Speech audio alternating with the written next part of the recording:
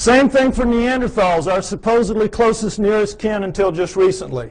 Neanderthal fingertip bone, human fingertip bone. Segment of Neanderthal thigh bone, human thigh bone. Look at the difference. Not even close. This is quarters to dimes, shovel handles to broomsticks. No comparison.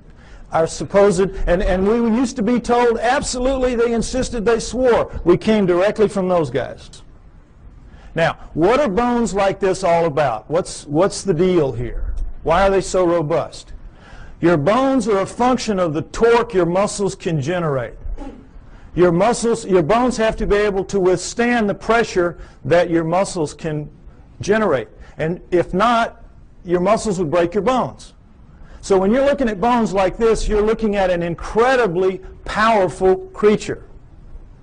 What are you looking at? You're looking at primate bones, primates of the earth. This is how the primates are built.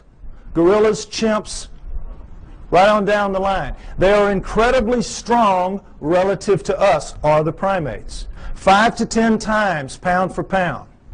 Next slide. Okay, this is a chimpanzee minus its hair due to disease, so you can see the musculature in here. And the strength of these things is amazing. Amazing. You could take a male chimp like this, not a gorilla, and put it in a room with Mike Tyson. It's a battle to the death, and they both understand that.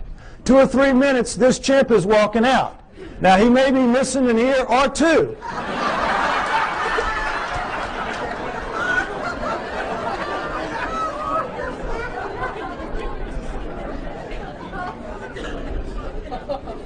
But the chimp is walking out.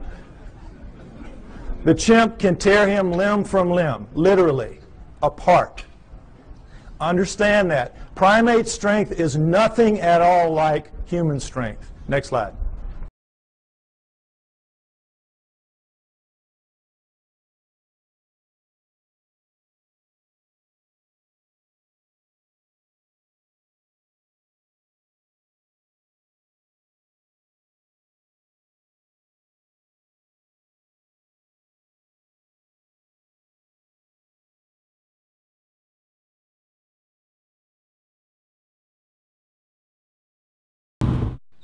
I don't have to show you any stinking badges.